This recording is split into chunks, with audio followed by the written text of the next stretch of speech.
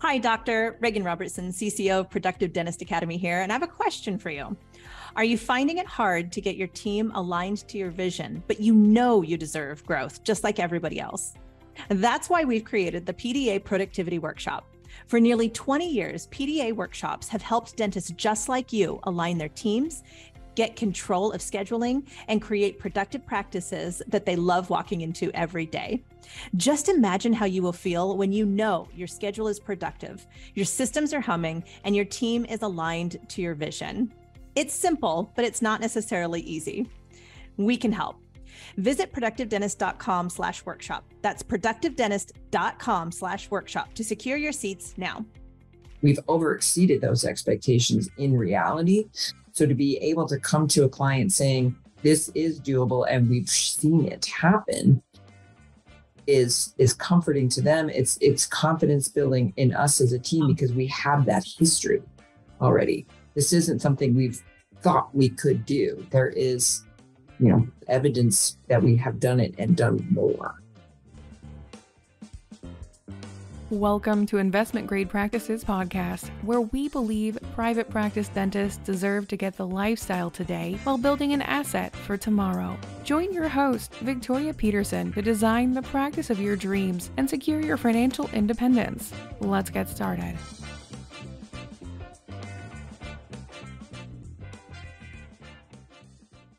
I am here today with one of the most amazing people on the planet, Miss Christine Uhen. She's in San Diego, California. Christine and I have known each other for at least 18 years.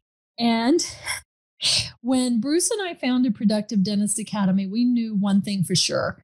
We didn't want to be the ones getting on a plane and going in office with clients. And we have a philosophy that you only delegate to someone who will do the job as well or better than you could do it yourself. Christine, welcome to Investment Grade Practice Podcast. So great to have you here today. Always good to spend time with you, Victoria. Thank you for that. And thank you for the Million Miler Club that I've earned on Delta. you are welcome. Did you, get, did you get the really groovy uh, luggage or Tiffany's? What did you choose I, I, did get some lovely um, accoutrement, uh, some some lovely uh, the little travel bag that I did get from Delta. Oh, yes. So still have it. I chose the same thing. Yeah. I chose the same thing. All right. So this podcast is all about building investment grade practices. And sometimes it's worth repeating what does that mean to have an investment grade practice? And what does it take to build an investment grade practice? So that's why I wanted to have you on here today. Um, our process, uh, which you know we've trademarked our process, we've trademarked the name investment grade practice, mm-hmm. and you sit right in the middle of it. So, what is an investment grade practice? We'll just start there. Yes, the and again, I just love that we've developed this as experiential, you know, as a need of the marketplace, and as things have changed. It's about creating a practice that creates a lifestyle now for the owners. It is a good, viable, successful business that sustains a lifestyle now, but also looks ahead and becomes an asset that has value for the future. And that really is something that is sustainable, repeatable, and durable. That we have something that is predictable, whether the doctor is there or not, and that also, you know, has longevity. So we are really moving from the shorter vision of can I be profitable to is it something that someone else sees as value in terms of the long term future for the dentist? I'm so glad you pointed that out. It sounds simple and it sounds almost assumed that, of course, I own my practice. Of course, it's an asset. However, the statistic that nine out of 10 dentists can't retire and maintain their lifestyle still prevails. And so I don't think we can assume that just because you've been in practice 20 years or 40 years that it's a sellable asset.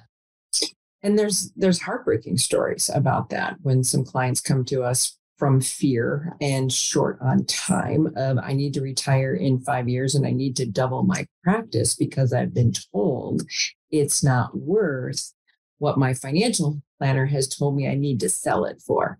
Those are heartbreaking stories, but they we get those calls way too often. And they are they're hard to to have those conversations of, well, time is short, let's get to work. yeah, and then the good news is is that a, a lot of times we can help uh, practitioners in that situation, and sometimes we can't. Um, right. Just in all transparency, PDA got its first negative review in 18 years uh, on Google, and it was a one star. Said I met you at a dental conference, not one of our conferences. And then when I followed up, was told that PDA couldn't help them. Mm-hmm. But the reality is for that dentist, and I did meet with that dentist, is that she was underwater and on her way to bankruptcy. And so it was not appropriate for us to come in and charge consulting fees because we don't specialize in that type of consulting. But for the top 5%, 10%, which is my goal that what we do with clients become the standard. There's no reason that 95% of dentists wouldn't successfully build an asset and build generational wealth. So let's talk about how we do that today. You said that we uh, evolved as the marketplace has evolved.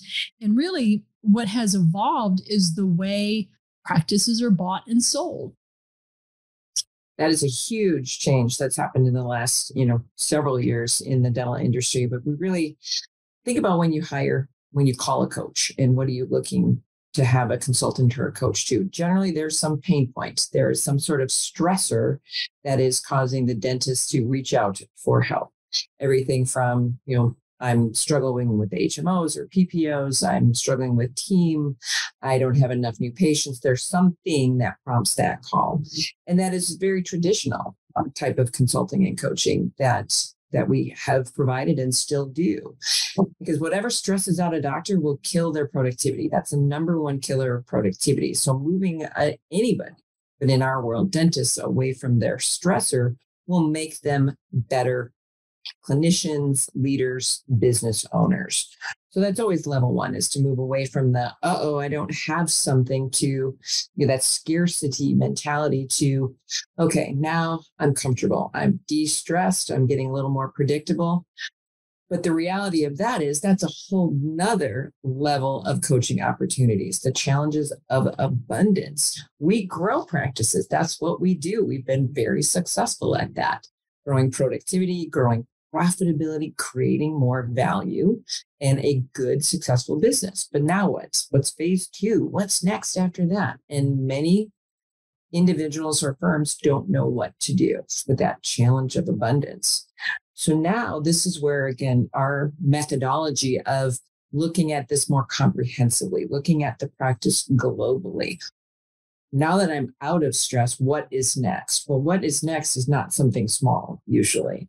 And in this environment, the sooner the conversation happens, go back to that one dentist that is asking in, you know, a few years to retire, let's make more money. Well, why don't we have that conversation sooner than later? I've heard it said it's never too early to talk about your exit strategy, whether that's five, 10, or 20 years. I don't think anybody plans on retiring with a drill in their hand or with you know, passing away with a drill in their hand. That's what gets into my coffin with me, kind of thing. Get it on, you know, I can't pull it out of their hand because we all want to have that retirement we enjoy. Well, if we could have that happen sooner than later, why wouldn't we have that dream? Yeah. And, so, and I'm seeing I'm seeing more people retire in practice, if you will. Yes. And so again, that putting people at financial choice where work becomes an option, work becomes the choice that I make. And even if it's choosing different pieces of dentistry, maybe I only want to narrow my focus to a certain service mix, but then I also still want to service my patients who are, you know, an extension of my family. So now we're talking growth and expansion and transitions of adding providers, adding service mix, adding hygiene, adding uh-huh. operatories, adding locations. The very exciting conversations that we are having with our clients now of not what do you want to be in 2023, where do you want to be in 2028? Right? Think bigger. And be, can I share a story, Vicki? May sure, I, I sure. This just happened recently. We're talking to one of our clients who we've had as a client for three and a half years, and we have been able to grow her successfully. Um, partnership um, through the pandemic. I mean, record months, record quarters, best year ever, right? In 2022, on track to break every record. And I literally got to have a conversation with her about so where do we go from here? You have opportunities to grow bigger. How big do you want to go? Right. So literally, she shared with me a number that she wanted to earn in five years. She had a check that she wanted to write to herself for a certain dollar number. And literally, when she and I sat down and were able to calculate profitability, cash flow, take home money over the next five years, and what that value of her practice would be in five years, I kid you not, was just over $10 million. Wow. It was almost to the penny, to the day that we could actually say, we can help you do that. We have the strategies, the methods, the team of advisors that would support her and her team to have that happen. We were both mm-hmm. nearly in tears about this, just the joy. I had not known that was her goal, but we had created this strategy just thinking outside the box of what if and why not. Those are some great questions to ask doctors. What if and why not? What if and why not? I love that. And I want to break this down so it doesn't sound so mystical, right? Like Christine Uhen has a crystal ball and it matches up with my big dream. I don't know about you, Victoria, but mine broke in 1989. My crystal ball broke in that era. Oh, mine's a little dusty. But what we did do is when Dr. David Porrick came on board, you and David and I, we poured through 20 years of consulting data and we looked at how do practices that are intentional on optimizing their marketing, optimizing their team, optimizing their time. And it's not about being bigger or busier. In fact, being productive is the exact opposite mm-hmm. of being busy. So when you become productive and you're focused on optimizing the systems around it, so there's no wasted effort and a lot of busyness, we've noticed that doctors have time and space for more clinical education and everything rises because of that. But here's the cool thing that happened with that research. We saw a predictable trend and a predictable pattern where doctors would grow on average 25 to 30% in the first year with PDA and an additional 20 to 30% in the second year. And they sustained that 15 to 20% growth year over year over year over year. Bruce was growing $300 an hour. I don't even eh, for 15 years in a row. He went from 800 an hour to 1250, blah, blah, blah, blah, blah. He retired out at 4,000 an hour or plus. Not because he was working harder. He was working mm-hmm. two days a week, but because he brought his team with him, he upleveled their skills, delegated to the max, and had a marketing uh, machine that was optimized to bring in the ideal patient. So you now have, because of the research that our team did, and David created this amazing crystal ball, right? So with the simple number of what do you collect today, you can predict with some pretty darn great accuracy, not based on a 20% growth model or a 30%, but on a 12%, like go a half or a third of what we know doctors can how they change and evolve when they optimize using 12% for three years and 7%. Like compare that to standard, if you don't know, and you're listening to this, standard growth is 5 to 7% a year for a dental practice. Standard growth for DSOs uh, are 5 to 7%. They want predictable, calm, stay in my comfort zone, let me grow a little bit to overcome inflation. Right but they don't tap into the potential that's there.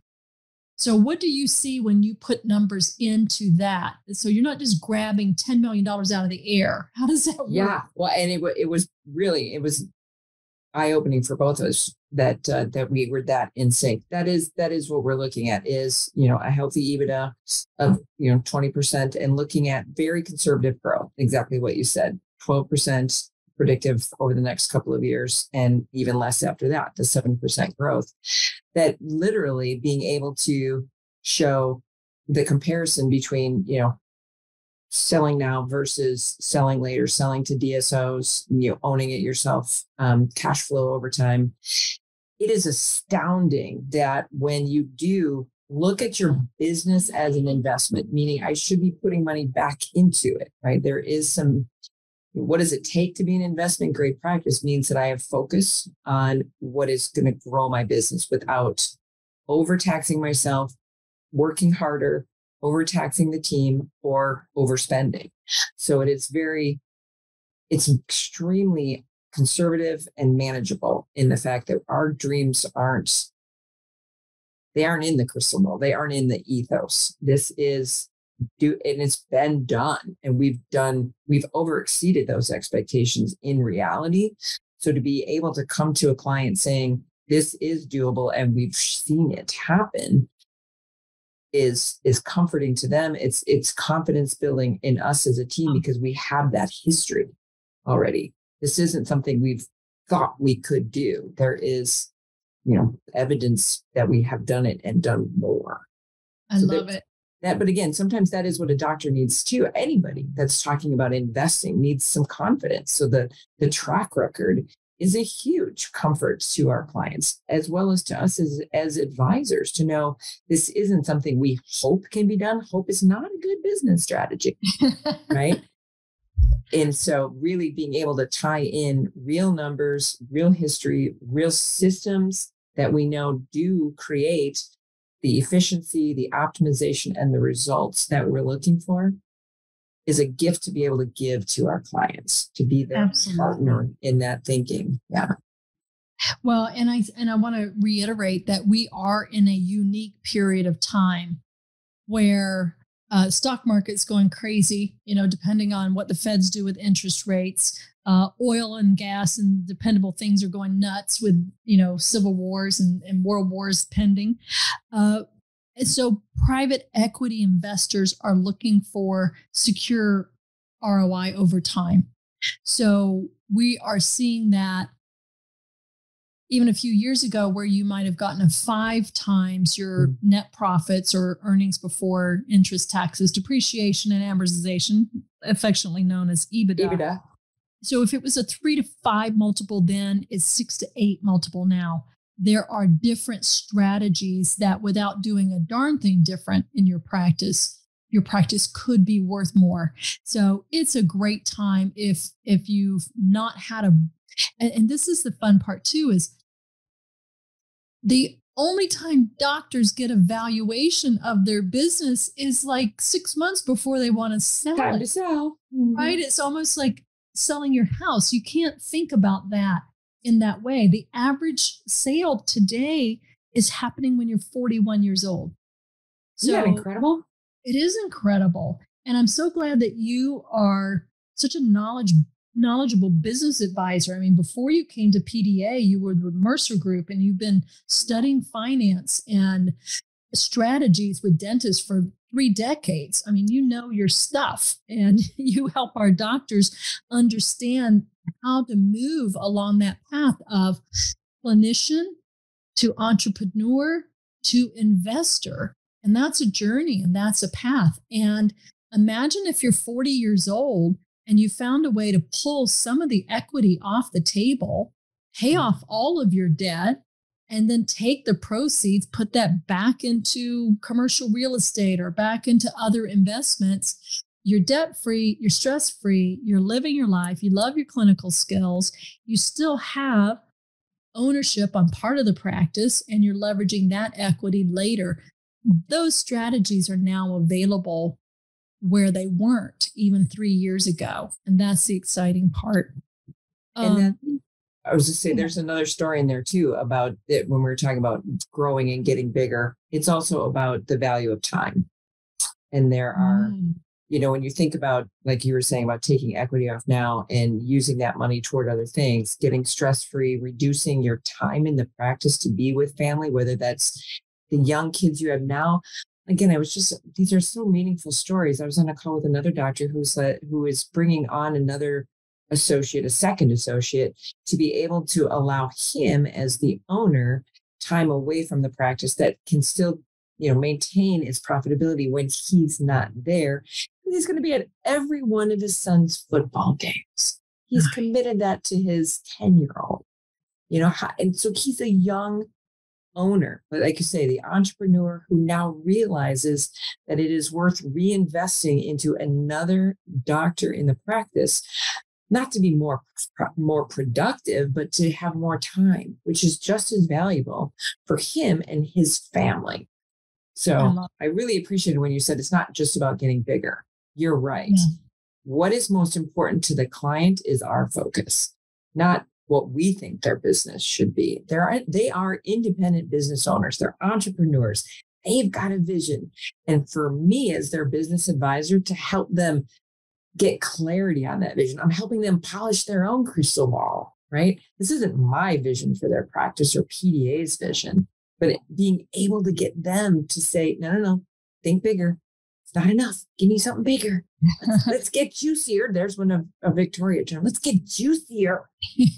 and, but we get to do that. And like you said, the strategies that are in place now from equity selling part, part of it, partnerships, multiple owners, all such options are out there for our clients.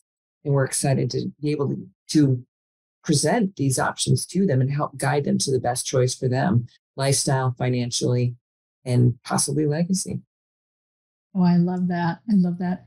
I'm sitting here listening to you with just a big smile on my face because nine times out of 10, when we tap into the vision with our with our doctors, it starts out as um, oh no, it's impossible. I mean, mm-hmm. I did, you know, I started out thinking, but nobody gets to do this. And, you know, it's all, it's just almost lost hope mm. of, you know, and secret dreams. Like, I want a BMW X6, X5. who do I tell that to? Because yeah. no, my neighborhood drives that, or I want a Ferrari. Or sometimes if our, our uh, tangible expression of what wealth is can feel embarrassing, particularly to people in dentistry, because you come into this field with such compassion mm-hmm. and humbleness that it can feel undeserved to be so lucky and that's another one of those challenges of abundance is you can self-sabotage going i have enough think about all the people who are starving and right. all of that's there what my experience is is that um, the more financially secure you become, the more you are in a position to help. So, so getting that community connection and those heartfelt connections are all a part of that too. I'm going to wrap up with one thing. If if you don't know, uh, if you haven't noticed yet, Christine and I love to work together.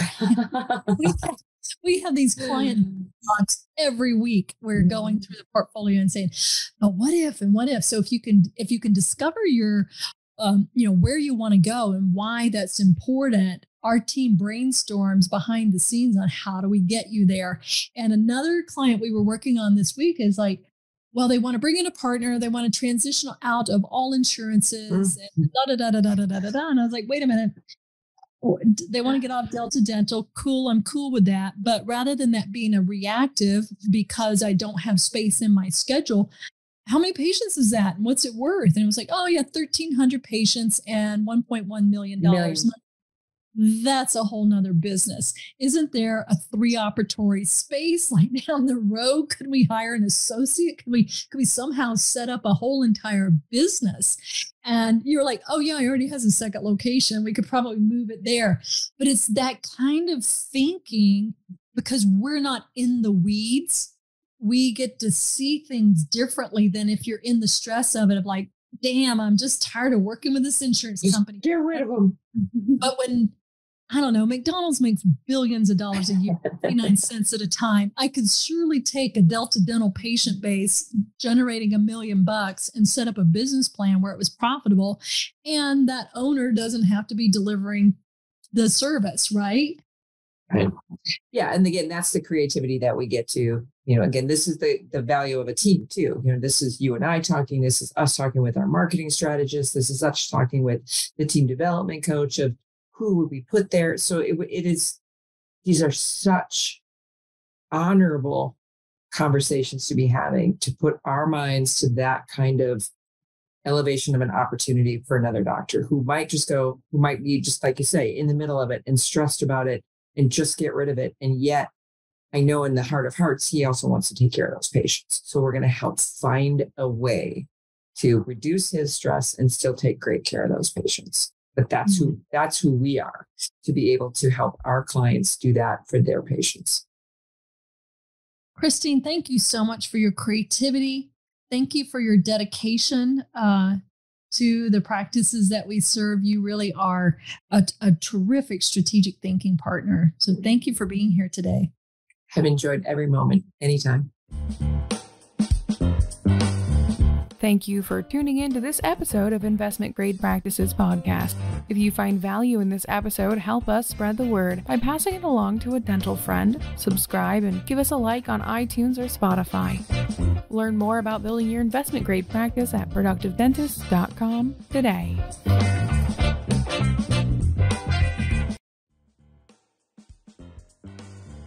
Thank you for tuning in to this episode of Investment Grade Practices Podcast. If you find value in this episode, help us spread the word by passing it along to a dental friend, subscribe, and give us a like on iTunes or Spotify. Learn more about building your investment grade practice at productivedentist.com today.